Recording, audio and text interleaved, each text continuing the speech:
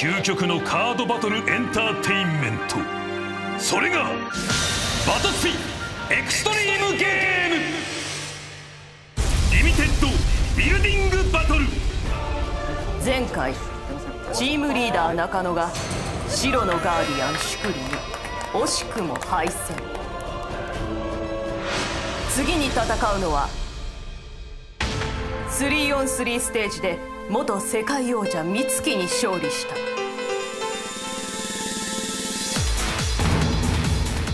休み。一休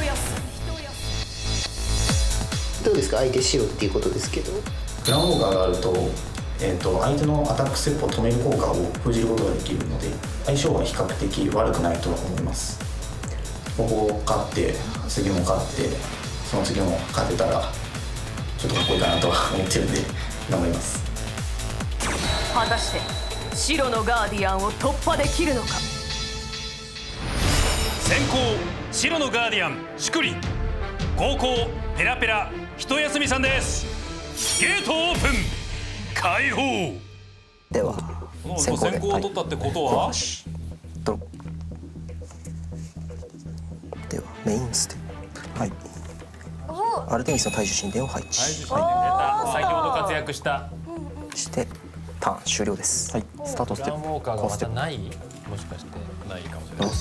最初に置いてないからないからメインステッこちらのグランウォーカーがあるか。それではまずグランウォーカー。出た。配置します今度は引い。ていた瀬戸ですよ。えーグランウォーカー瀬戸いいや3コス持っていればお前天才って呼んでやるよ今日から。素敵やん。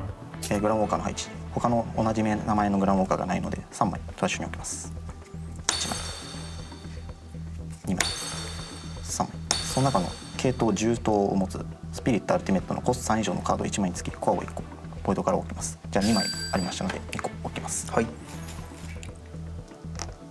で残りはトラッシュこのネクサスのシンボルは青そしてアルティメットシンボルとしても扱います、グランスキル4フラッシュお互いのアタックステップ。このネクサスのコア4個をボイドに置く。ブレイブのコストを無視してコスト9以下の相手スピリット1体破壊するというグランスキルとグランフィールドは5個乗ってればレベル2自分のアタックステップ系統10頭を持つ自分のスピリットアルティメットがアタックしている間相手はマジックカードアクセルを使用できない。いやーきつい。まさに白を倒すために。えー続いてスカイウォッチナルミネススタートできたのは強いですね。えー青シンボルとして扱うので2コスト。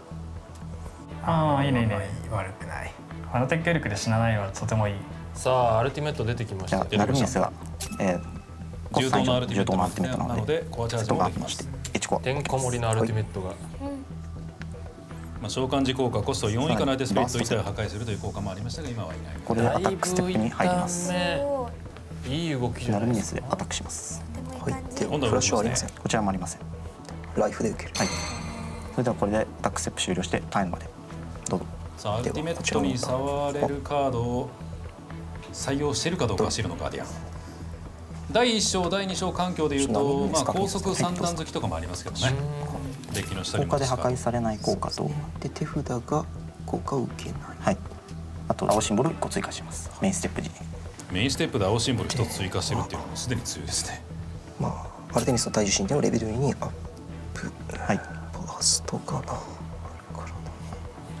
青のバーストそうですね。現象時バーストなのかファラオムなのかはたまたうーん致し方ないか。そうしたいわではリーディングオリックスを召喚はい、えーではシンボル追加してフル軽減続けてスプレッド到達を召喚はい。では召喚時効果で、えーボイドからコア1個をこのスピリに置きます。はい。コアブーストスプレッド到達。ファースト確認します。はい。何かな。ファラオのかな。まあコアブーストさえしちゃえば半分仕事は終わってる。バーストは大丈夫です。はい。あなるほど。まだ様子見てるかもしれませんね。藤栗さんも警戒しますよね。この白用の白を倒せる青デッキなので、では、えー、体重神殿2枚目を配置。はい。ああ弱い弱い弱い。弱い弱い。かなりいいぞこのうんいい。動きいいアタックステップ入ってで、えー何もせず。では、えー自分のアタックステップ終了時、えーリーディングオニックスの効果で、えー白以外のスピリットアルティメットネクサスがない時ドローステップを行います。はい。ドローステップ。はい。ワンタップして、えーターン終了です。はい、スタートステップ。コアステップ。ドローステップ。さあ持ち込んでいけるか。メインステップに入ります、えーまずアルミネスのレベルを4に上げます、今シンボルが3つあるの続けて。と同義ですからね。えーゴッドシーカー機械機投資ケルドマンド召喚。しますシカおお出たあいいねおいいね。理想の動きやん。青金と使って1コストはい。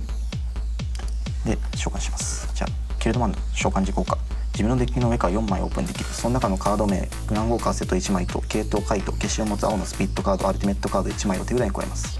残ったカードは好きな順番にデッキの下に戻します。4枚オープン。はい。1枚目。2枚目。3枚目。4枚目カイトかあ柔道パンザーもグラ書いてモガセット。でカイトの銃とパンを指定します。はい。じゃあこの2枚はこの順番に加えられるデッキの下にですね。置きますでさらに、えーコスト3以上の銃刀がスピードが出ましたのでグラモガセットを反応して1個は置きます。どんどん増えてきますよ。いいですね。セットと2枚加えられたのは強いですね。じゃあ続けて銃刀パンダを召喚します2コストおおグラモカネクサスの前に出しますか。銃刀の3個数字のスピードが出たのでセットの上に1個置きます、はい、続けて銃刀パンザーの効果。柔道パンザー自分のデッキを上から4枚オープンできます。その中のアルティメットカード1枚を手札に加える、1コストを支払うことでアルティメットカードの代わりに青一色のグランウォーカーネクサスカード1枚を手札に加える、じゃあ4枚オープン1枚目セトナクトアローは自分の青の効果でデッキからオープンされたがトラシに置かれたカードはこの手札に加えられます。なるほど。2枚目3枚目4枚目、えーそれではなかったのでないですデね。ート出なかった順番のものがデッキの下に置きます、はい、回収できる。ん？回収できるで。ああれあれあれあれ。れもうひとやすみくんは。えーっとすみません。BP を確認してよろしいでしょうかまあ、5000と4000 5000と4000ありがとうございます、えーそれではアタックステップに入ります。はい。世界重視ナルミルスでアタック。でグランモーカーセットのグランフィールドの効果。自分のアタックステップ。系統銃刀を持つ自分のスピリットアルティメットがアタックしている間相手はマジックカードアクセルを使用できないが発揮しています。はい。えーでは、えー、ナミルネスが今5000です。グランフィールドが5000貼られてますね。はいレベル 3BP5000 です。はい。ではフラッシュはありませんではフラッシュタイミング。グランモーカーセットのグランスキル。えーグランスキル。このネクサスの声4個ボイドに開けます。ブレイブのコストを無視してコスト9以下の相手スピリット1体破壊できます。ではこの、えースプレッドを破壊します。はい。多数が破レッ壊ドトータスを破壊。代わりにグランフィールドを失いましたね、まあこの盤面なので止められるカードを使わせながら相手の盤面をどんどん破壊できたらかなりのマウント取れると思います。はい、えー、フラッシュはありません。こちらもありませんではそのアタックライフで受ける。はい。では続けてゴッドシークか投資ケルドマンドでアタックします。これは破壊時も持ってるので果敢にアタックできますね、まあ、フラッシュはありません。こちらもありません。でそう破壊時も持ってる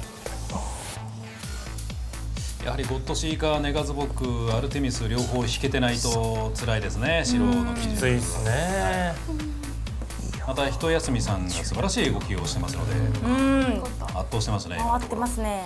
ではライフで受けます、それではこれでアタックステップ終了タイムまでではこちらのターン今一度ねグランフィールドを張っちゃえばもうマジックで止められなくなるので、そうですね。体重心ではレベル2に。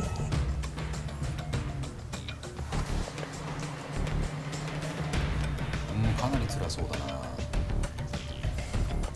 スプレッドトータスを召喚あ再びうんここでは少しやっぱり弱いですね。では召喚時効青がないで果はいゴールドすからねから5位こう置きます。このスプレッドいいねいいね。買ったんじゃねえか。ファラオで止めればほぼ勝ちやで、ファーストは大丈夫。ですえー、違うのか。あれじゃああイフ現象じゃないですか。そうだ。ではブレイブ基準は陣を召喚はい、ああそうか。青つけましたね。うん。えー右ブレイブで超走行黄色青。はい。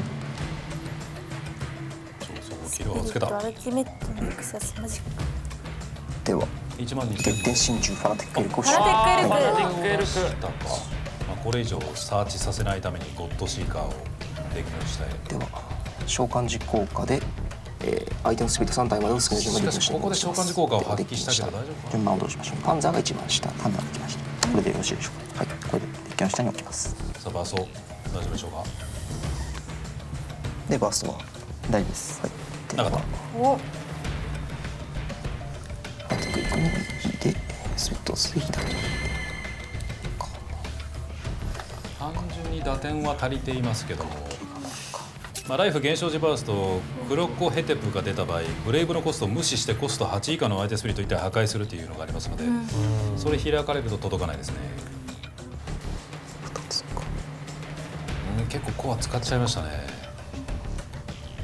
ではアタックステップ。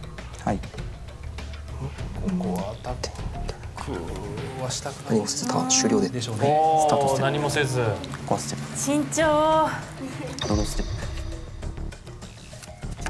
プ。ナルミルネスのレベルを5に上げます。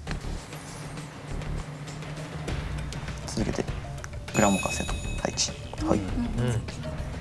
2体目さあ生き物がいるのか手札の中に。これ攻めきれないか。何もせずタイムああちょっと厳しいな今のは。さあこれはどうなる？ドロこの開始は厳しいんじゃないのフか？ァナテックエルクの召喚時効果によってデッキの下に戻したのは相当今刺さった。レベルそ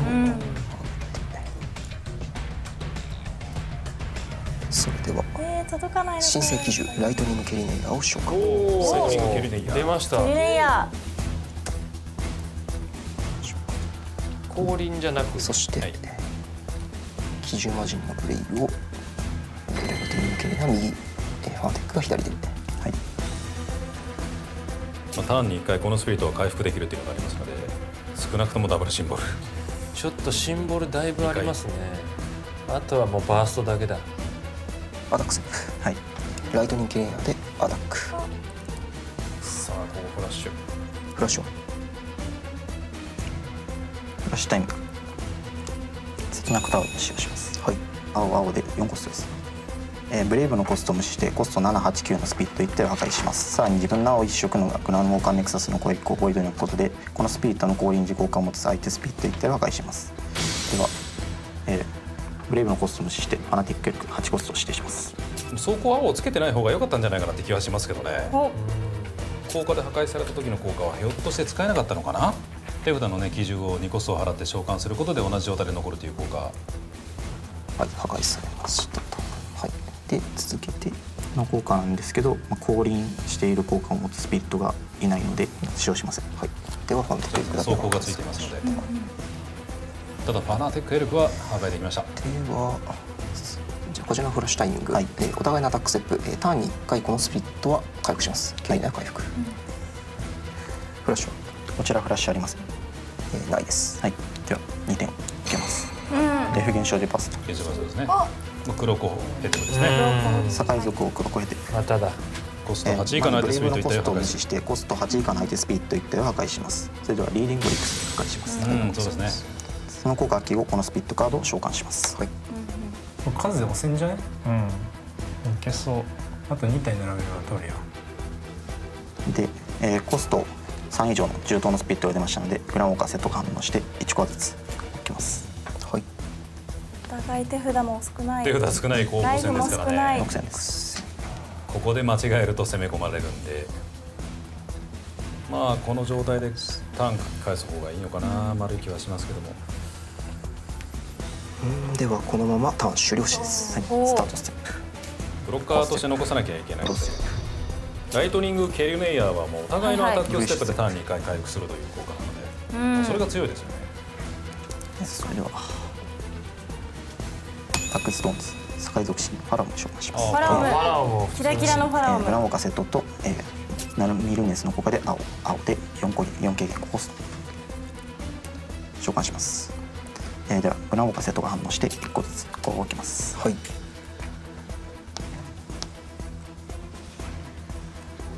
続けてバースセット。はい。お。えーこれでアタックステップ入り何もせずターンまで。ではこちらのターン。はい。ターン返した。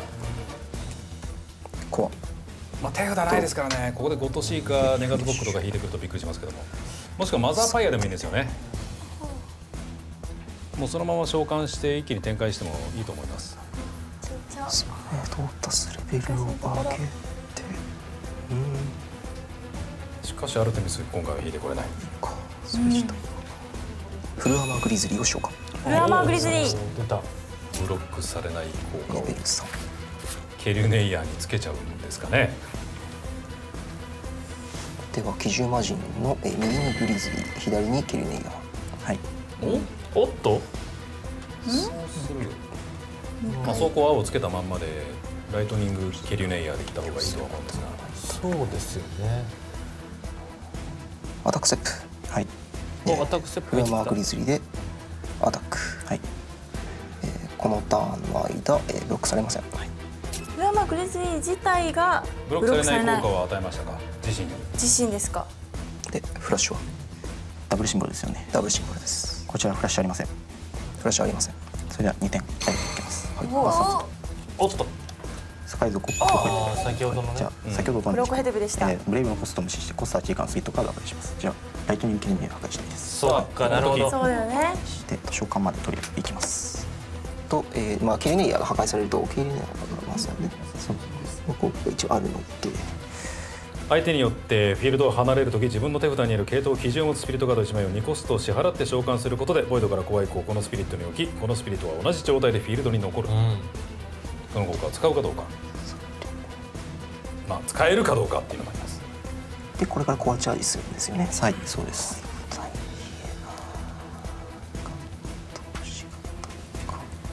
ちょっと読みを間違ったかうなケルネイヤーがうんケリュネイヤーに与えておけば痛かったかな。押し込めた可能性はありました。まあこの辺はやっぱ、でもしょうがない、はい。まあ、バーミスストが読めない。読みですから、うん。うんこれは勝てるんじゃねえかなと思うんだけど。はい。ではクロコヘデプの効果でケルネイヤーは破壊します。は破壊さそのれました。後瀬戸2枚、えー、コアチャージ発揮して、はい、1個ずつ。ブカードを置きました。はい。ここまでです。では一応ジャッジ確認です、えーフルアーマーグリズリーははい。もうこのターン中、はい。えーブロックされないですね。はい、え降臨しても。降臨してもブロックされません。はい。ではスピリットトータスで降臨と？なんか恐ろしいことを今言いました。まさかライトニングケルネイヤーをもう一枚持ってよ。フラッシュはありませんよ話が変わったぞ。やばいやばいやばいやばい。新世紀中ライトニングケルネイヤーを降臨すごい。なんという攻防そういうことなんですね。ああこれが種明かし。そういうことだったんだ。マジか。天才じゃけ。もうそれでしか勝てない札持ってんだよな。まあ、降降臨スピリットは元のスピリットの効果を引き継ぐのでブロックされない効果も引き継いでいるお互いのアタックセットフラッシュえーターンに1回回復します。はい。手札すべて使い切って。でフラッシュげえ。さすえーフラッシュはありません。ありませんそれではスカイ属性ファラムでブロックします。はい。エビ8000はい1万1000ですではスペットの差破壊されます、うんなるほど。では続けてライトニングケルネイうヤーでわーこれはもう貫通だぞ。ブロック。されません。はい、えー、フラッシュありません。ありません。レベルいきます。ありがとうございました。ありました。めっちゃ強いじゃんしくりさん。勝てる気しねえんだけどミラやばいないやーしくりさん。最後すごかったですね。そうですねなかなか難しい盤面でしたね。もうちょっと嬉しそうにしてもらってね。解説席ではなぜねあのフルアーマーグリズリーにこのブロックされない効果をつけるんだっていう風なことになったんですけれども手札にねライトニングケルネイヤーがあったってことなんですね。そうですね。それもありますしあとはバーストが分からなかったので、はいはいはい、まあそれもあるってことなんですね。ああいやもう素晴らしかったです。青デッキ相手はいかがでしたか？いやきつかったです。ねいや何よりその、まあ、今回出なかったですけどタイフォームに対する恐怖心がすごくてあれが出る前にどう勝つかみたいな、なるほどなるほど。はうんそうですね。さあ一休みさん、い、や序盤ねすごいいい動きしてたんですけれどね。そうですね。結構手札自体良かったと思うんですけれどもパンザーだったりでちょっと大砲も探しに行ったところ、まあ、見つからずデッキの中で迷子になってましたね。もう白相手はいかがでしたか？ちなみに。そうですね。相性有利だと思ってたんですけどブロックされない効果を使われてしまったせいでちょっと防御手段がなくなってしまった。あとまあ機銃魔人の青装甲ですね。組み合わせが素晴らしく強かったと思います。はい。ということでございました。お二人お疲れ様でした。お疲れ様でした。ありがとうございますペラペラ一休み惜しくも敗退。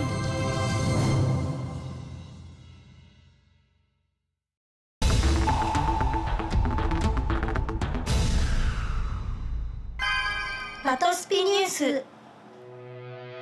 さあ8月25日にバトスピ10周年を記念して作られるアニバーサリー商品。バトルスピリッツドリームブースター。俺たちの奇跡が発売予定ですこちらの商品は10周年にちなんでアニメ名場面を使用したマジックカード10種強力再読カード10種バトスピ関係者によるプロデュースカード10種そしてなんとアニメの男性キャラクター10人女性キャラクター10人がグランウォーカーネクサスとして収録されると、超豪華な収録内容を予定しております、さあ本日はガーディアン臼井がプロデュースしたこちらのカード。はいじゃん。五穀豊穣黄金姫。いやー来ましたね。こちらねもう緑のガーディアンにご紹介していただきましょう、お願いします。いやもうね本当に1億3000万人の各人ファンの皆さんお待たせしました。日本人全員さあすごい。このね五穀豊穣黄金姫、はい。もうねイラスト見てください。稲刈り？そう稲刈りをしてるんです各人が、なぜ稲刈りをしてるかというと、はいはい。なんと僕の実家が農家なんです。えー、お米作ってるんですか？お米作ってます。それにちなんでどうしてもやはり稲刈りというものをね外せないと思います。ただねそれだけじゃないんですよ。なんと今までの緑にはなかった効果もふんだんに追加させていただきました。まずレベル123の効果、相手は疲労状態のスピリット全てのソウルコア以外のコアを取り除けない。動かせないつまりこう疲労状態っていうのは必ず避けて通れないものなので、そうした時にもうコアがソウルコア以外は取り除けないというね、うん強い。そう疲労にさらにメリットを与える効果となっております、さらにレベル23効果、はい。何でしょう？自分の効果で疲労する相手のスピリット全てを重疲労させる効果にしました。疲労を10キロに。疲労を重疲労に変える効果。なるほどね。いやもうこれだけでも使ってみたいと思うでしょ？まあさすが緑のガーディアンっぽい。いやもうさらに僕はここでは止まりません。まだまだ持ち込むか疾風陣内さらに突き進みます、レベル3効果このスピリットが相手のスピリットマジックの効果の対象になるとき、カード名五穀豊穣黄金姫以外の相手のスピリット1体を疲労させることでこのスピリットはその効果を受けません、そう。やだ。厄介なカードが出てきたな。なんでものを作ってくれたんいやだそれがこの5コスト3軽減ぜひ緑のデッキに1枚いや2枚いや3枚入れてみてください。ぜひぜひね。本日2枚目のカードはこちら。はいこちらのカード。ターンエンドだ虫けら。ターンエンド白です。これはですねえーバーニングソウルで劇中で言ったセリフをカード化したものですね。効果はというとソウルバーストで自分の手札トラッシュにあるゴッドゼクス1枚、軽減を全て満たしたものとして召喚するというものですが注目はですねフラッシュ効果です。直ちにアタックステップを終了するという効果になっています。直ちにです。直ちに。はい、これまでのアタックステップを終了させるカードはバトル終了まで待たないといけなかったのですが、これは直ちに終了させてしまいますと、いや恐ろしい効果ですね、はい。まあ、それだけにとても重いコストとなっていますが、一度は使ってみたいカードになっていると思います、さあバトルスピリッツドリームブースター。俺たちの奇跡はブースターパック4枚入り200円。自販機ブースター4枚入り200円です、はい。バトスピ10周年ならではのテーマが詰まったドリームブースター俺たちの奇跡お楽しみに。楽しみに。さあそして、はい。本日は先週に続き9月29日土曜日発売予定のバトスピと仮面ライダーのコラボブースター第2弾。はい。仮面ライダー失踪する運命より新規本格参戦の仮面ライダーエグゼイトのイラストを最速公開します。こちらです。ですどどうですか。仮面ライダーエグゼイトすごい。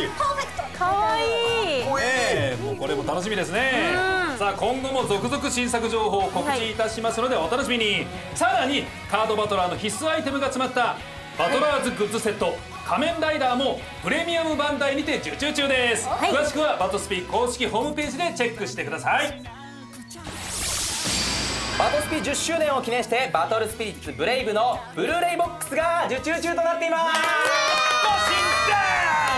はい特製のバトスピカードが6種類収録されるほか特製ブックレットなども収録される豪華セットとなっています。一定の受注数を超えたら発売決定となっておりこちらの受注期間は8月の19日日曜日までとなっております。必ずお忘れのないようにお見逃しないようにご注意ください。詳しくはバトスピ公式ホームページでチェックしてください。さらになんと本日はバトスピ10周年を記念した新たな映像を公開します。どれどれ？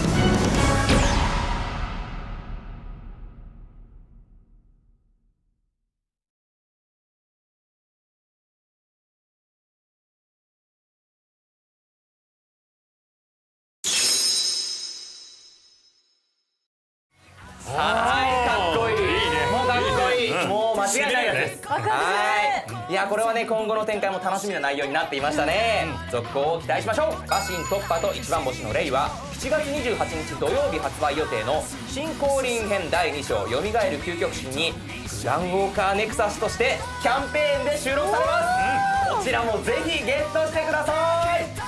次回後がないペラペラ最後の挑戦者原村長。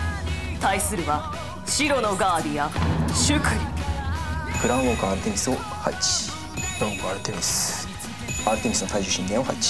はい。ライトニングテリエイラ召喚します。はい。交換ないブレイブアルテミックシール。ドはい。トリプルシンボルをライフでいきます。はい。果たして勝負の行方は？次回神に選ばれし者。絶対見てくれよな